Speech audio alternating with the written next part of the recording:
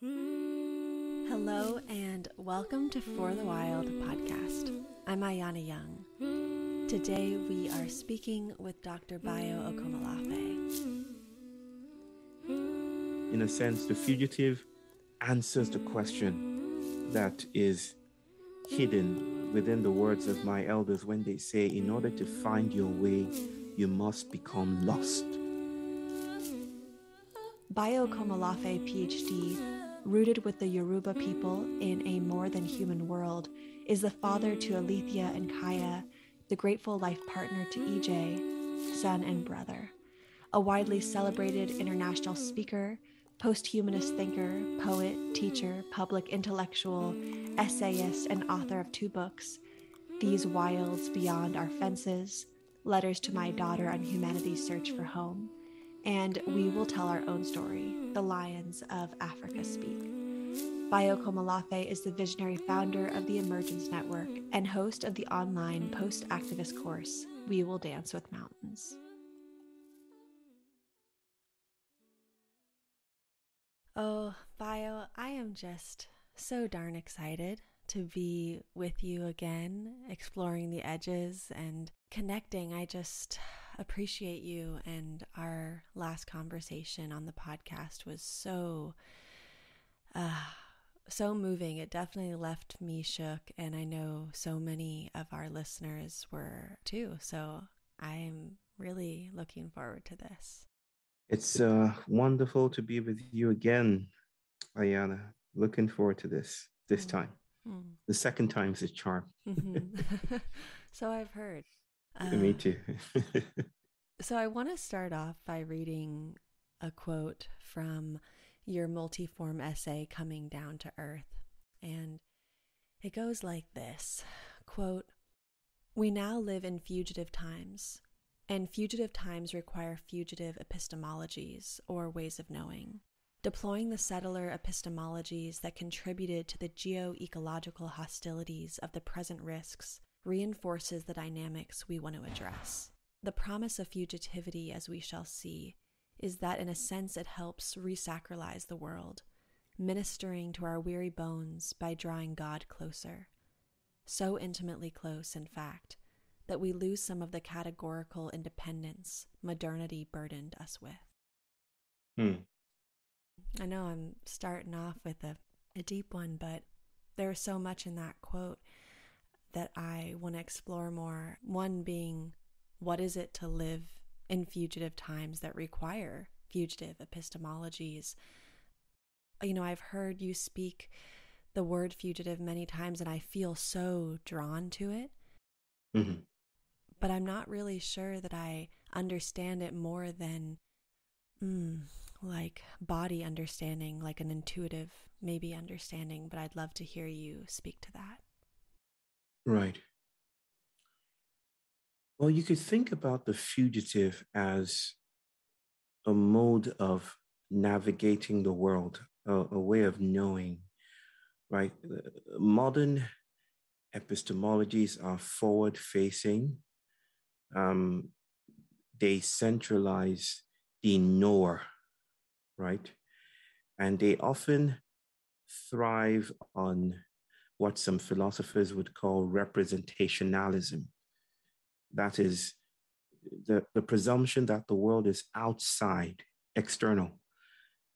And our work is to adequately represent it, right, in our ideas, in our language, in our concepts, to bring it in, so to speak, to traverse the ontological gap between our skins and the environment, right? Um, and that's the task of modernity. Um, that way of knowing is costly, right? And, and this is the idea then that, that if you if you perform knowing, and notice I said perform, right?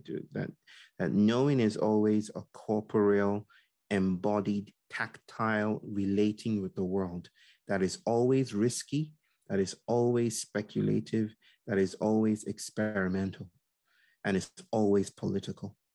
Right? When we know the world in ways that um, centralize us as prime knowers, Um, one of the speculative costs of that is that we tend to see the environment as instrumental, as dumb and mute, and only there for our use. Right?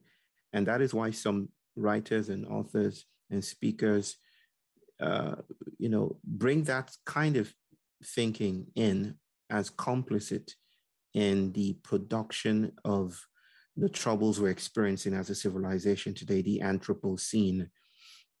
So to, to, to know, um, you know, fugitively, if you will, is to come alive to other senses. It, it's to, I, I hesitate to use the word awaking um, because it also presumes a binary. uh, between wakefulness and sleepfulness, if you will. Um, but it is to it is to navigate the world differently. There's a sense called uh, proprioception, right? In in in which we kind of uh, our muscles, the way we move in the world, and the way we situate ourselves in space time, is um, is is what's at stake, right? um, that sense of proprioception, I like to think of um, knowing as proprioceptive, that how you move through the world makes the world and makes knowledge. Knowledge is not just a stable, objective thing out there, you know, at the end of a scientifically rigorous exercise. Knowledge is how we meet the world and how the world meets us in return.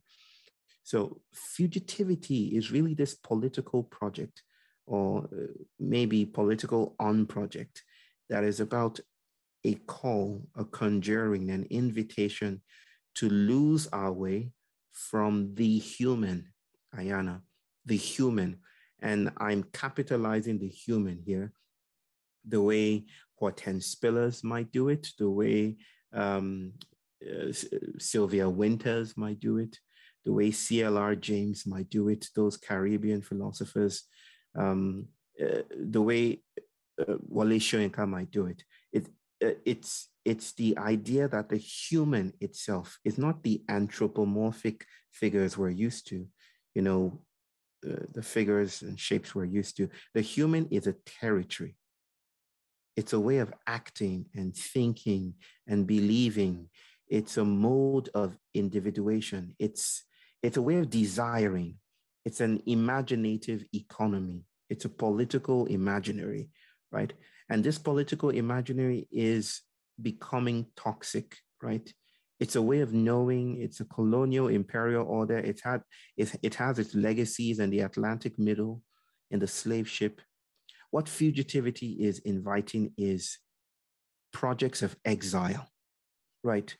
That move us away from the dissociative uh, escape or transcendence of the modern and closer, as I write in that passage, to God, where God is not Gandalf or some bearded white dude on a throne in some distant fairyland, but God speculatively becomes the unbecoming, the becomingness of things, the unraveling, the teenage promiscuity of things uh, that uh, this promiscuity is so severe and powerful and potent and vibrant that we can no longer even speak about a universe.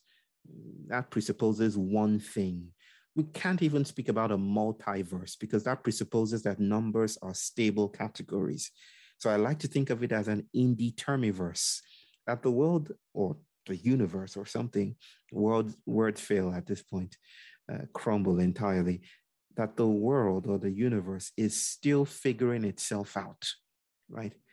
And so the fugitive is the figure of the Anthropocene, a political invitation to unlearn mastery, to fall to the earth, to learn how to commune with soil, to disturb our social analytics that tends to centralize justice, to move beyond critique, right? To notice how even protest could be a, a department in the slave plantation. And to travel, to get lost. In a sense, the fugitive answers the question that is hidden within the words of my elders when they say, in order to find your way, you must become lost. Thank you for taking us there from the very beginning. I was definitely getting lost in your words, and I imagined myself falling to earth and feeling so held by the ground in this this longing, this yearning, like crying out to be held in a fugitive way. And I'm thinking about you speaking about God and what it is to draw God closer. And I think this is an interesting topic for me right now, especially because I think about God and spirituality. And of course, in different times in human history, God was a lot more important, seemingly, than they are now. And I think that this type of post modernity, post spirituality, post God world is not good for us in a lot of ways. Like, without God, what holds us accountable? Without God, how do we live in right relationship? When I say God, it can mean so many things, but I want to pause there and just mm-hmm. ask for you to speak about God more and maybe reflect on what it has been for us humans to lose that intimate connection with God and how do mm. we come back or find new ways of relating to that type of life force or source to belonging Hmm.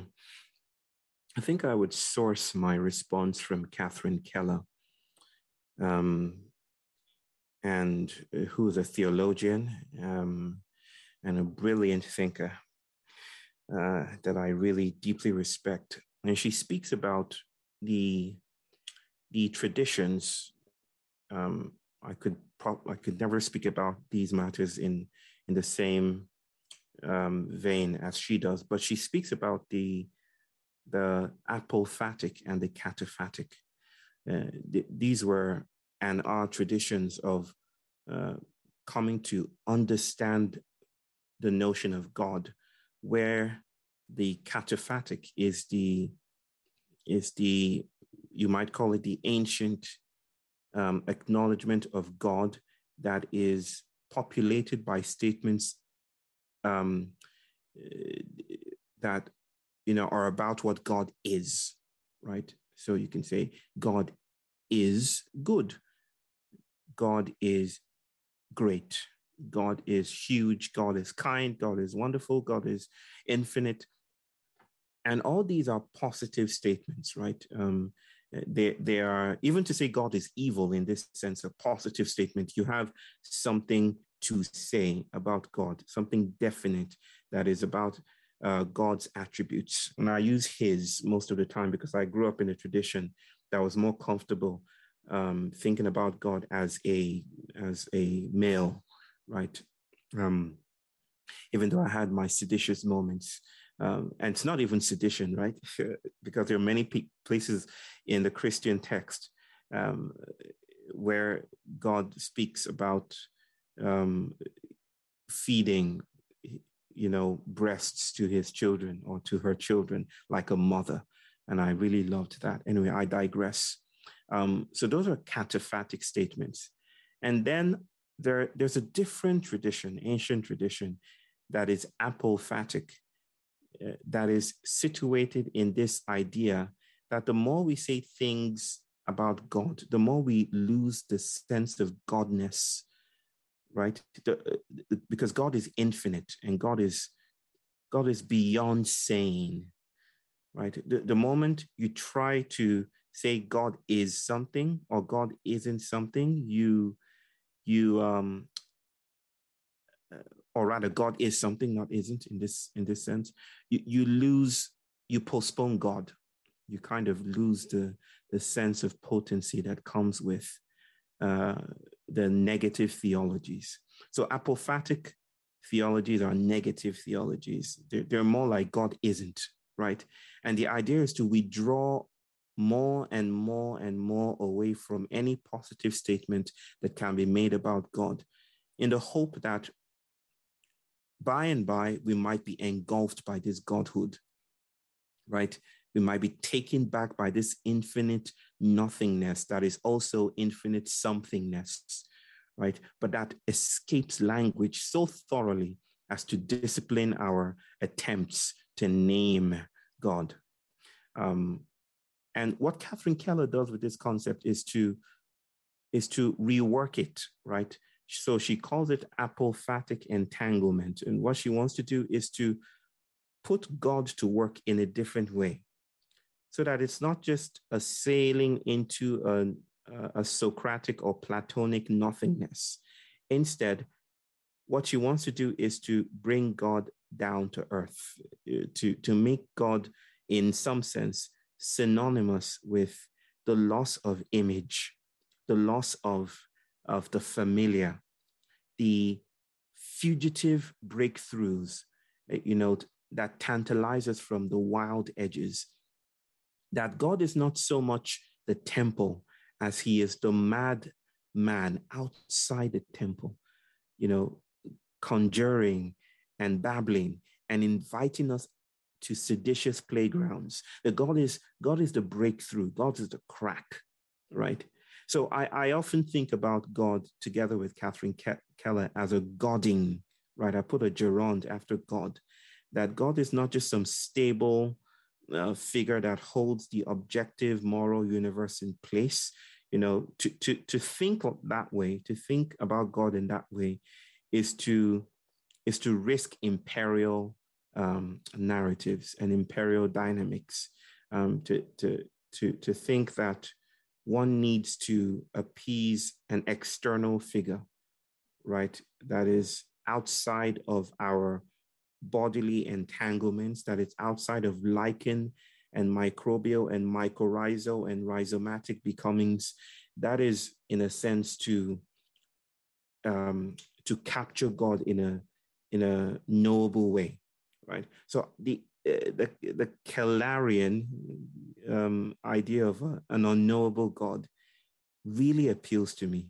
It's it's the idea that God is still figuring itself, herself, himself, themselves out. God is still being worked out. God is not just an essence. God is a becoming. God is a dying. God is a living. God is the animacy of, of a mushroom world. God is the weather. God is geology. And this is not just to say in a glib way that God is everything, because there's no such thing as everything. That's just a convenience of language. Um, there's no umbrella term to capture things that are happening in their happenings, right? There is only this convenience um, uh, of, of, of speaking and words. So I like to uh, think about God in this way as fugitive, as the crack in things that disciplines our attempts to name with any sense of finality. Hmm. Mm-hmm. Oh, yeah, I appreciate the uncapturability or the like. Just, now you're spinning words. yeah, just like we can't hold God. It's um, there's like I'm just seeing God fall through my fingers as you're speaking. And there's some relief in that. And there's some nervousness in that as well for me. Good. but I guess there's this gnawing question that keeps coming to me, which is something around accountability or justice or right relationship or what holds us humans what holds us, what contains us, how do we hold ourselves accountable, who do we serve, mm-hmm. um, if not God, and wanting to bring up that justice, accountability, being good at this point in our post modernity. Mm-hmm. Who holds us? Hmm. Let me tell you a story. I think I'll answer it this way. There's a story um, and it's not entirely apocryphal, um, and it's not entirely archetypal too. There's something experimental about it, and I might have a little something to do with that. But there's a story about um, the arriving the arriving of the slave ships to the African continent and the stealing of Africans, women, children, men, um, to those ships, uh, cargo ships. Um, one story is in response to the question, well, where were our gods? You know, why didn't they do something about this?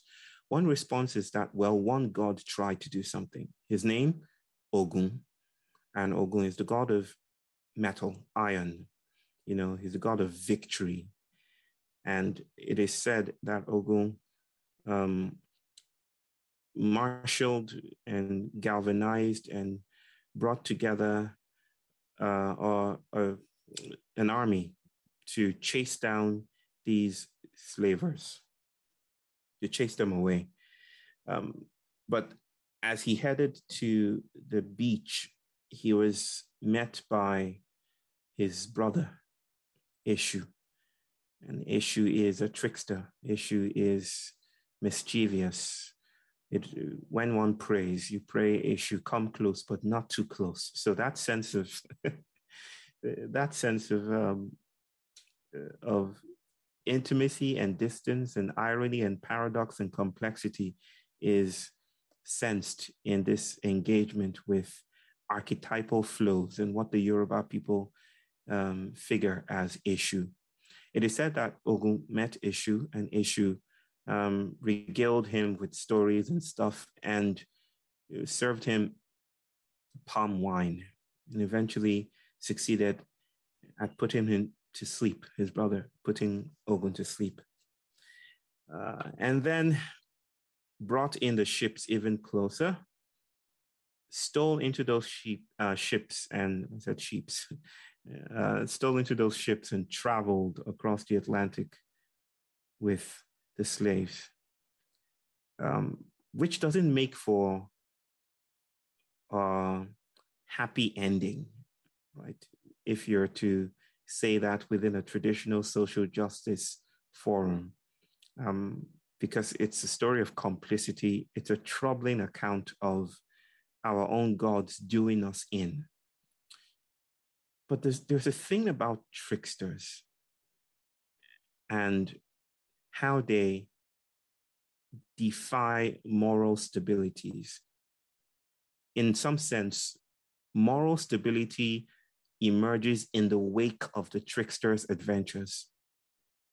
And that's one way of seeing the world as open and experimental, but not so open that anything goes, right? That in moving and navigating through the world, um, and not just humans, other things as well, the more than human, we co produce moral architecture, moral stabilities. Some of them we have names for. You just named a few good, accountable, evil, you know, turning away, a bypass, you know, um, and and in naming and in inhabiting and in performing those moral architectures, we place make the world, we terraform the world as we are terraformed ourselves, as we learn to acculturate ourselves to the psychic demands of these moral stabilities. But moral stabilities are also indebted to larger territorial flows.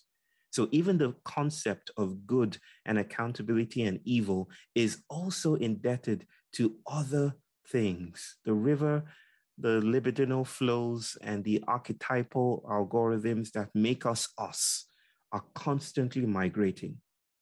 And in those moments, good could become incarcerating.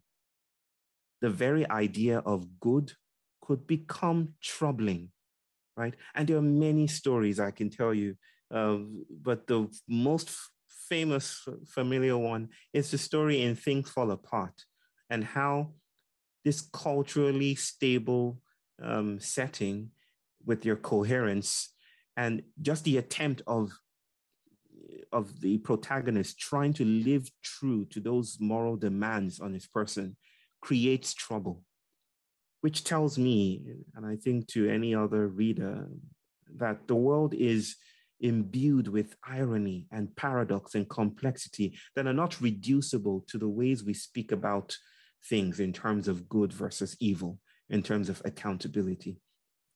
So, this is not to dismiss any of that. It is to notice that um, those moralities are indebted to ethical flows.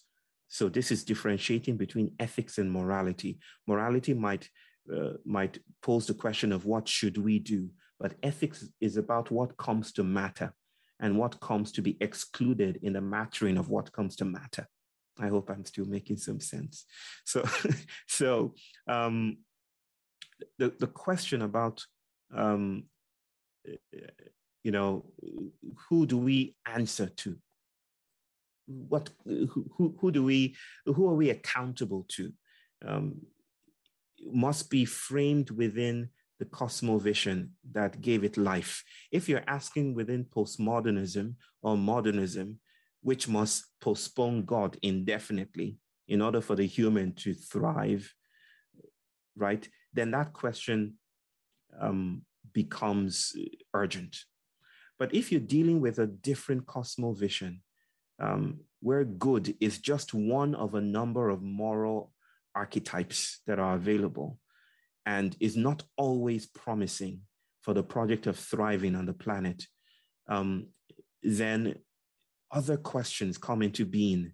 Then we have to situate the, trick, the trickster and ask, what is the trickster doing? How are we shifting today? What are the demands that are being placed upon us, you know, in order to be alive to the sensuous flows of the world? What could in what way, let me put it this way, in what way, and I ask this question all the time, in what way does justice stand in the way of transformation? Right? In what way does being good actually come eh, become an obstacle to being sensuous? Right?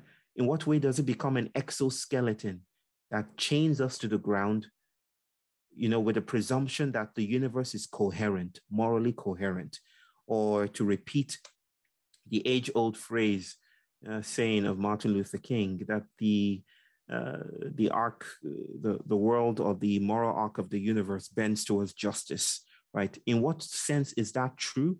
And in what sense does the universe exceed that sentiment? Right? So I don't think that if we think about God as an external being, we can escape the trap of good versus evil. And I call it a trap within that um, setting, within the cosmovision I'm speaking from. But if we think about God as this ecology of trickster, of archetype, of cybernetic flows, of technologies, of monsters, of ghosts and becomings, of scabbed over oceans, of moanings, of songs, of murmurations, of rhizomes um, that are still figuring themselves out, then other questions become possible then we're no longer asking simply, um, who do we kowtow to or who do we bow to?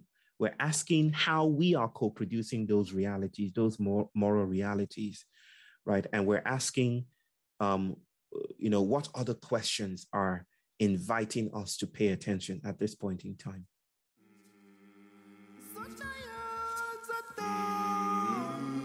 worked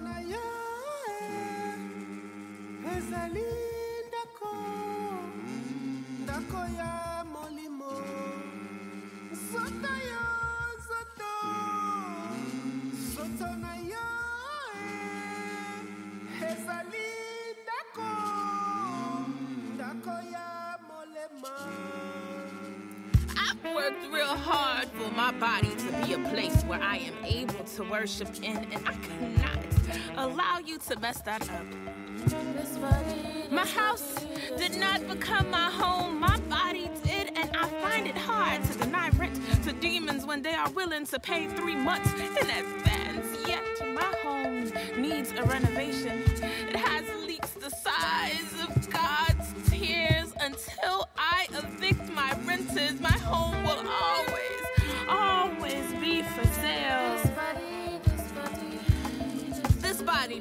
death as its own. It only operates as much as its soul requires you would think after becoming earth and transforming into trees that it would understand the beauty of letting go, but it doesn't. It doesn't. It doesn't. It's fascinating to hear your just exploring the differences between ethics and morality and as you were speaking i was trying to imagine examples of that and gosh also just really considering not just god but truth and how mm-hmm. capital T truth also seems to have just flown out the window in postmodernity mm-hmm. and in this time. Mm-hmm. And so I'm I'm really holding God and truth side by side right now.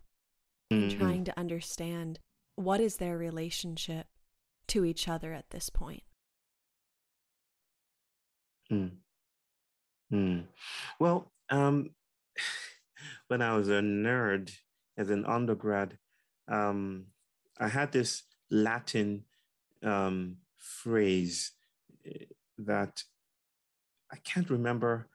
I think it's uh, veritas a something a prevalebi. It, it, it was, it translates to truth is great and shall prevail.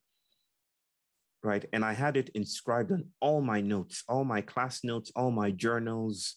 And yes, you're hearing that right. I did not have a social life. I was about the library kind of life and about the theology and psychology and Freud and reading all of them through each other kind of life. Um, and it was not at all difficult for me to notice that to speak truth um, or to think about truth, this capital T truth, and I gave you that, uh, you know, appellation as well, is to think with in very strong eschatological Christian terms. And I'm not saying this is the only way to make this connection uh, or to think about truth, right? But there's something deeply Platonic about uh, thinking about the world this way. And speaking about Platonic, right, this is what uh, the French philosophers Deleuze and Guattari um, refer to as arborescent thinking and or arboreal thinking. It is it's uh, from the you know arboreal or arborescent. It's to think like trees or a tree line, you know, that comes from the roots and proceeds to the less important parts, which are the branches, so to speak. And they hated thinking like trees because what that signifies basically is arborescent thinking is representational thinking. Um, it's this Platonic idea that the world around us is just this roving material mass of the of appearances. It's phenomenon, not noumenon, right? So this is just lesser secondary stuff. There's a world, an ideal world of forms, right? Behind um, the world we're used to. And this is why we need philosopher kings in a Platonic uh, city.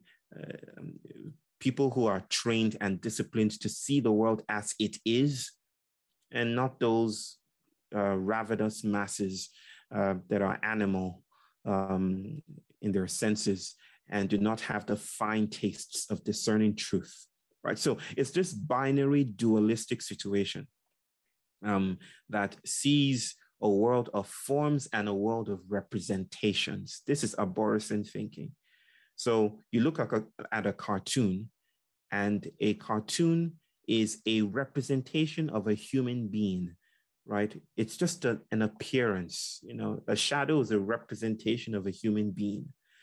Um, and f- those French philosophers I named were against that kind of thinking. They were asking, what if we, instead of thinking about the world in this dualistic way, what if we allowed cartoons to do things only cartoons can do instead of just being representatives of an ideal form, right?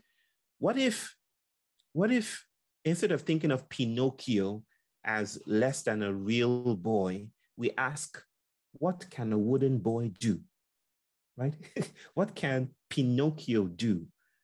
So this turns the tree or dismisses the tree kind of thinking, arboreal, arborescent thinking, And then we are introduced to rhizomes, roots, searching from different directions, where there's no origin point, where there's no destination point, where every point is originary, where every point is a destination, and every point is simultaneously a middle, right? It's performing different things at, at, at once. It's duplicitous, it's trickstery. If we think of the world as rhizomatic instead of arborescent, then the new has space to thrive. Then we can understand differences for instance, black bodies, not as approximations of white bodies, but as ontological gifts doing their own thing. We can understand um, different kinds of families that are being proliferated around the world right now, not as uh, you know unstable, shadowy reflections of the nuclear family, as we understand it, you know, but as family itself, exploring the meanings of family, right? It, it becomes rhizomatic. The world becomes uh, abundant and promiscuous and teenage, right? Now I forget your question, Ayana, because I just traipsed off into my poetic. No, I, I was with you. I was. I feel like I was on the ride with you, sitting next to you and waving my arms as we would swoop down and go up. and I was really waving my hands here. yeah, it's. Oh, I was really I was in this inquiry of truth and God and how they relate. And I think part of where I was going with that is, I guess, in my mind, when I think of capital T truth or God or right relationship, I think about the earth and I think, well, it only makes sense to serve our home. And we, can look at home as earth, as our ecosystems, as the waters that flow through where we live, the trees that give us oxygen. Like we're serving our home. Instead, we're living, you know, at this point, kind of globally, the overculture is ecocidal. We're killing our home.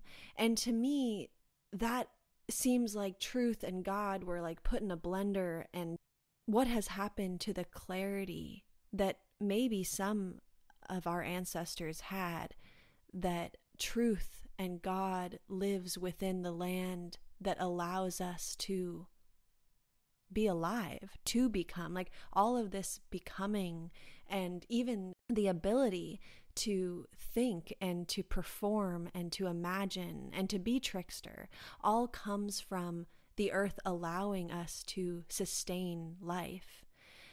So I would think that our moralities and our ethics would all come back to how do we protect that which allows us to live. I'm looking around this earth and the suffering and the pain, and honestly, just the insanity of how we have ended up here. And I want to believe that there is some trickster story that we're living through, and there will be some type of something on the other side where we're like, oh, this is why we went through this mental breakdown. But I'm not sure, and I I'm definitely not sure. So yeah, I think that's the underpinnings of this question around God and truth. You know, I really honor I honor that and I celebrate that. It's it's um I think of these insights, these concepts, um, as as world making in their consequences, and we do need that. It, it, it's um, it's we can say that it's it's it's potentially problematically essentialist, right? Um, to to think about truth in the ways that are familiar to the modern or even to so many indigenous groups um, around the world, even mine, right? Because uh, maybe I should put it this way with a story. Stories are always a good way to enter, but this will be briefer. Uh, this brother of mine tells me a story about um, uh, a group that traveled. Uh, I think it's from the First Nation um, tribe uh, travels to China for an for a gathering that involves indigenous groups around the world. And I think they've been trying to re- revive a project um, that is about, you know, images and connecting to the dream world and connecting to their tricksters and, and things like that um, for a long time. They're artists, uh, but they've not found their mojo. They've not found this flow. They've not connected to ancestry. Something is missing. Well, the story goes that they are in this festival in China. Is it? China? I think it's China. Yes, and and they are um, in dancing on the streets, and they they they fall into conversation with another indigenous group, and uh, from a different part of the world, and they're just mixing and sharing experiences. When it seems all of a sudden, I think how the story goes, um, one member of the former indigenous group from the Americas um, that I've been speaking about becomes possessed, so to speak, and starts to fling his arms wildly on the streets and does it so hard and so prominently that a, a police officer has to be brought in to try to contain the situation, right? But some event happens, and this signals the return of a trickster that they have been waiting on in their own lands for a long time, but did not meet them in their own place, met them in the diaspora, met them in a foreign, strange place. And that night, as I've been told, all of them have dreams of images that come to them. And these images um, of what to do with their art is nothing like what they would have expected. They would have expected to maybe create masks out of the original fabrics that their ancestors um, used. But instead, they create selfies, like this trickster figure that alights upon them, inspires them to use modern images, to, to use modern uh, tools and, and, and modern objects to create the sacred. And I just want that to sink in for a while. And, and my sense here, and that's the end of the story anyway, my sense here is, is to notice how the sacred travels, right? It, there, there, there's sometimes this um, reconstructionist way um, that comes to mind, how we speak about the past, you know, and I'm always wary about the story that this narrative that there was once a time where everything was harmonious, where we had this indigenous alignment with truth and right relationship. And then something happened and everything went wrong. And now we're trying to restore that relationship. First of all, it doesn't do justice to the complexity of the lives of our ancestors. Summarily, it also contains them in uh, static temporality, as if the past is done with, as if you know those lives are not still consequent, um, uh, consequential, and material and political, hidden constituents of our social material realms, even right now. It kind of romanticizes the indigenous. And this is why, you know, sometimes I find that um, in, uh, you know, in the recent upheavals and desire to center indigenous realities, there is a romanticization of those indigenous technologies that kind of instrumentalizes them for modern anxieties, like grabs them by the scruff of their necks and says, you know, here's climate change. What do we do about it? Do we take ayahuasca? We'll do it. Do we sit in the desert for seven days? We'll do that as well.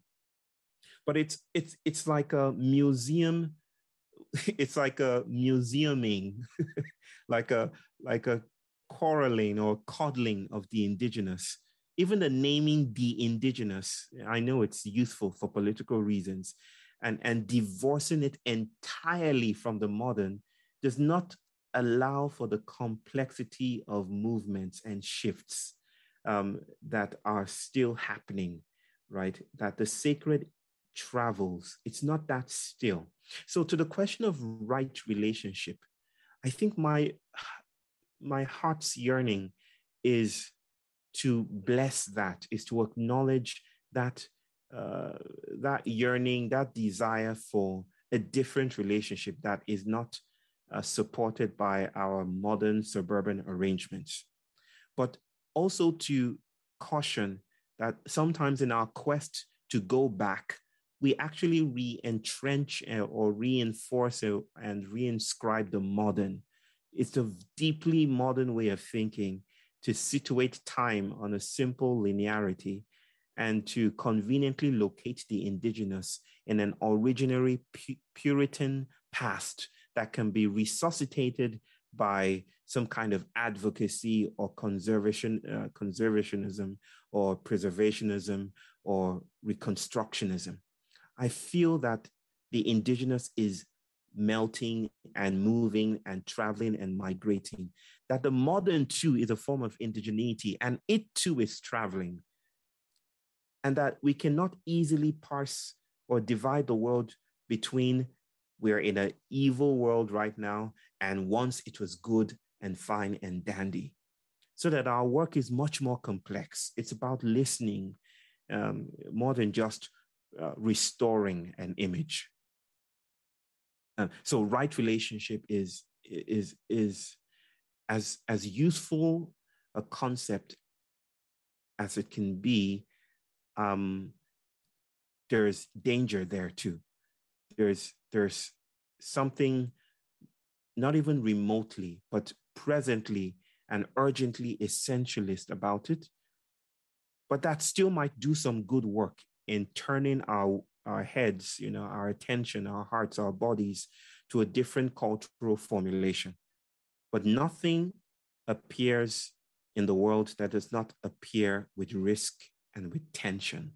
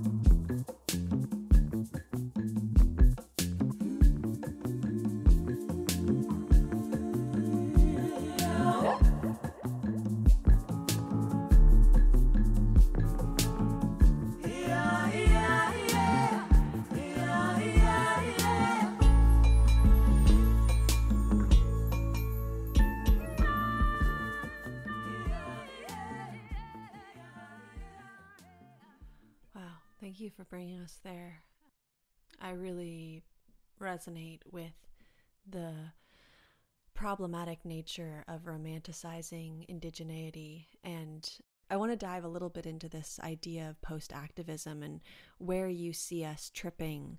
And I also want to read this quote that I think ties in with this, and it's from Let's Meet at the Crossroads from your Pacifica graduate commencement speech. And it goes, quote, the world has ended many times. I'm not speaking about extinction level events and spectacular arrivals from the skies. I'm speaking about all the ways something unexpected slips through and breaks the familiar so thoroughly. Like an accusation in Salem, that forward movement becomes impossible. Critically, the world has ended many times to make room for whiteness the world performing imperative that enlists bodies of all kinds to perpetuate secure arrivals and safety. Even more critically, there isn't one world, one dominant, already made world. The world has never been coherent or okay for many of us, and endings are plentiful, often happening at the edges of our tongue. Yes, it was good to listen to that and to be reminded of what I often call the Afrocene.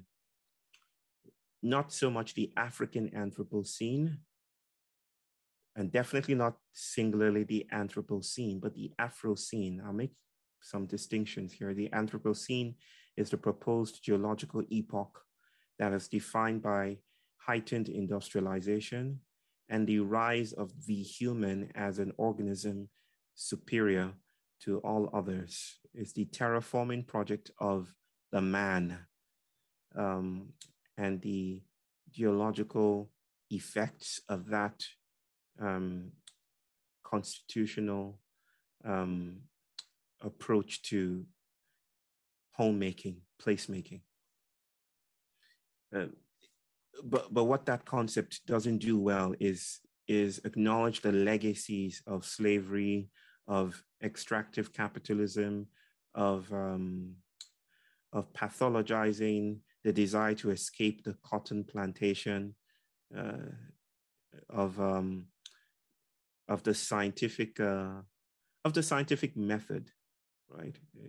The the idea that the world is geometrically stable, Euclidean probably, and can be known in any final way. This liberal, traditional, humanist sense of things. Um, what the Anthropocene does not do well is, is bring that in and fall to the ground to acknowledge the legacies of the slave ship. Um, and so, in its clarion call to do something about climate change, which is just one aspect of the Anthropocene, um, it makes this brazen attempt to wrap us all into its royal we, as some authors call it. So we need to do something about this. We are all in this trouble together. We need to get our acts together. Nah, that we, uh, it, it just it's a it's a mess, right? It's a it's a monolithic heap of a we because it it doesn't it, it kind of lumps uh, the United States, for instance, uh, together in the same boat with Zambia, you know, as if they were equally complicit. Um, that's one way of looking about it, uh, looking at it. And so authors distinguish the African Anthropocene to talk about the other effects, you know, the racializing effects of the Anthropocene um, in world politics today, in how the history is considered, and how knowledges are considered, and how our playgrounds and landscapes are still being terraformed by biochemical, um, industrial, economical projects of the West, right? And and how, for instance, uh, wind or rather air quality in Lagos will never be a project of, will hardly be a project of the UN or World Health Organization. Um, those that data will probably not be found as easily as air quality will be found in New York, or rather, data about air quality will be found on the internet about New York. Um, so that's the African Anthropocene. But I, I coined the term Afrocene to do some other kind of work, to invite um, a noticing of the more than human constituents of our politics today, to say that the world has ended many times, like I say in that, like I said in that speech. And with the world ending and with these cracks emerging, we're suddenly, so to speak, exposed to um, the diasporic quality of our bodies, right? So that in a sense, we are no longer as composed as we were. And the idea here is that the human or whatever colonial project you can that can come to mind is not as resolutely stable for all time as we think it is. That when the world ends when hiroshima is exploded when time stops something happens to our bodies. With hiroshima for instance co2 and and radiation just blasted into the environment, settling into our skins, into the ocean, so that every one of us born after that time, I think up till now, has a little bit of that radiation from Hiroshima still exploding in our cells, right? Um, so we are changed by cracks, by events. The post, uh, the idea of post activism is not a way of dismissing activism, not a way of saying after activism. It's not another post project, right? It's a way of saying uh, that we cannot continue forward because the road is exploded, the road is gone. And now we're in very awkward circumstances because the map, the terrain is no longer uh, familiar. Uh, vision is gone, plumes of smoke everywhere. Uh, there's a pandemic in the market space in our bodies everywhere right now. The public is haunted. That's the idea. And now we must meet these monsters. We must meet these alien bodies at the crossroads, right? Post activism is always a matter of disability. Not so much spanking new capacities, but disability, where something breaks that agency becomes distributed. That's why, in a sense, post activism means or suggests that the territorial, agential, humanist, um, dissociated self, the citizen is dead. And suddenly we are all exposed to these immersive waters. And now we now have to take into consideration what these others, these strange others are doing doing is no longer our thing. You know, doing is now a shared co-production of the next. So post-activism asks questions like, so who do we meet? Who becomes our new ally? You know, how do we even ask that question given that the future is broken? What does time mean right now? How do we live in a world that is uncertain? Right.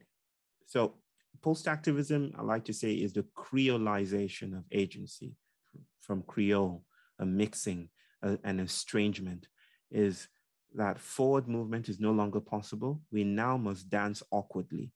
It's the proliferation of monstrous tentacles, Ayana. Uh, it, it's like suddenly we're no longer human, we're monsters. And we're now living in a time of failure and the promise of post activism is the political project of making sanctuary, where making sanctuary is not about um, it's not about keeping people safe. It's not a politics that can be reduced to safety. Sanctuary is not safety here. Um, sanctuary is, from our point of view, how do we take care of the fugitive, right? We become the temples offering sanctuary to the criminal.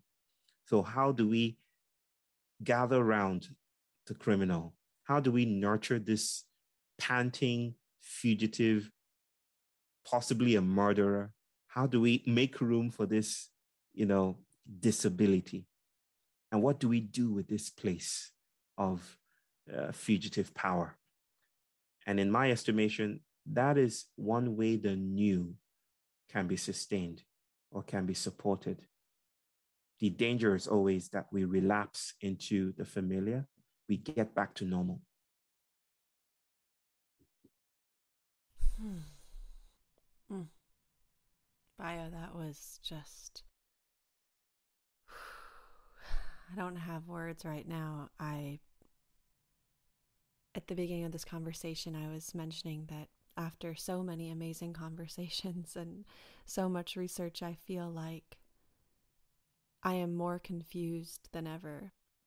And really, in so many ways, at a loss of how to understand this time and how you just navigated this really bumpy trail that I think so many of us are, are conscious of being on was really comforting in uh, in a strange way. It's like it's I don't know. I'm trying to understand where the comfort lies for me in that. But maybe it feels comforting because it's it's almost like the most authentic understanding of what it is to be alive right now is this way of not understanding. Mm. And I think maybe also when we're when you're speaking of the murderer or the the one that we're taking in, it's almost like we're taking in that side of ourselves as well. Oh yes. Oh yes. Hmm. Yes, yes. It it's it's like we are we're imbricated with the things we're trying to escape from. that's the that's the trouble right there. It's it's um it's a story of um you might get you might get some chuckle and laugh out, out of this. It, it is this story of the of the atmospheric atmospheric chemist Jonathan Williams. I think works at the Max Planck Institute. I've spoken about him and his work for some time. Um, he won the Ig Nobel Prize. I said Ig Nobel. So there's a prize called um, not the Nobel Prize, but the Ig Nobel Prize, which is uh, about scientific work that is more likely to make people laugh and then think. Right. So that's the Ig Nobel Prize, um, which is shocking because his work, even though speculative, is theoretically abundant.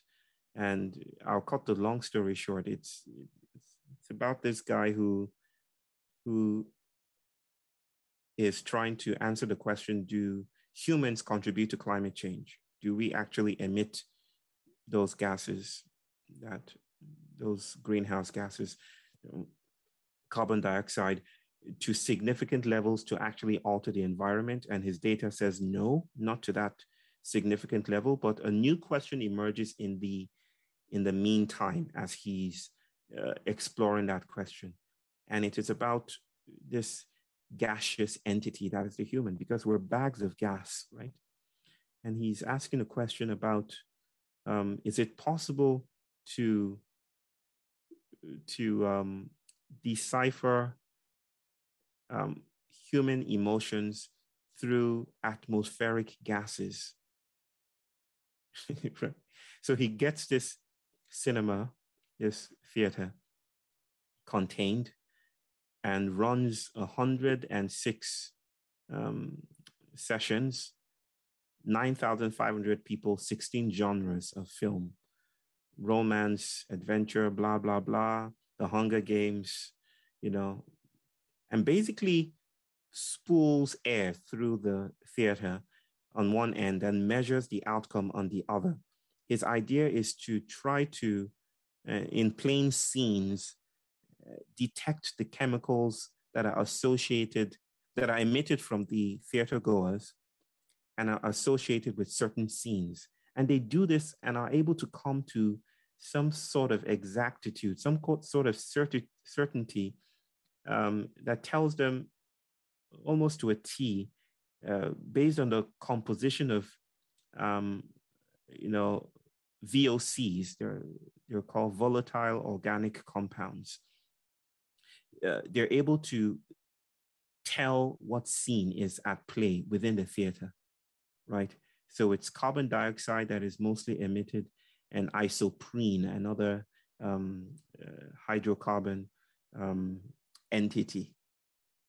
And it literally suggests that suspense is in the air. You know, one article I read, you know, put it that way suspense is literally in the air. Um, and I think this is just shocking stuff. This is beautiful, rich theory making work. Because what it does is it suggests, like Teresa Brennan would do with the transmission of affect, her book of late memory right now, um, that we are we are atmospheric beings, Ayana. We are not just contained flesh.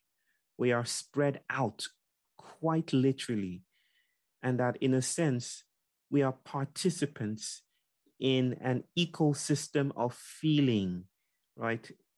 Uh, that shock and laughter and despair, you know, they were able to notice the parts where people were actually anxious uh, for the life of the protagonist of some given film they were watching. Um, that, in a sense, is not just um, greenhouse gases that are floating up into the atmosphere is that despair and sadness and laughter and joy could actually become territorial entities. So feelings are more than just human products. You know, they're atmospheric, geologic, doing other things other than being felt. And so they enlist bodies in their territoriality. So joy could become a principality and a power. Despair, depression could become a principality and power speculatively. Right? We're only beginning to understand the sense in which we are more than our bodies, we exceed ourselves. If we're swimming in those waters, if we're swimming in Afrocenic waters, if we're participating in ghostly becomings, ghastly becomings, chemical becomings, microbial becomings, neuroparasitological becomings, theological becomings, then it's not really easy to collapse the world to safety, to collapse the world to a sense of isolated selves, to collapse the world to pristine identities, then the world is undone, you know, not in a permanent way, but in a way that it that suggests that categoricity is also a becoming, also migrant, also nomadic. This is where post activism does its terrible work because it's now about how do we travel? What new questions are, are powerful? What should, what should we listen to right now? It's not easily collapsible to compassion or let's just all love each other. Love is all we need. No, the, the universe loses that kind of moral coherence. And suddenly even its physical laws shapeshift, and we're being invited to thrive, to die, to travel along with it. But I've gotten too far ahead of myself. no. Oh, Bayo, I am just so grateful for this time with you. And it was truly medicine for me on a personal note. And I can only imagine what all those ears out there will be soaking in from this exploration with you. And oh, I really appreciate you. Thank you so much for this time and this winding trail that we've navigated through together. My pleasure, my sister. So mm. grateful. Thank you for listening to this episode of For the Wild podcast. The music you heard today is by Zidzor and Lady Moon and the Eclipse. For the Wild is created by Ayana Young, Ali Constantine, Erica Ekram, Emily Guerra, and Julia Jackson.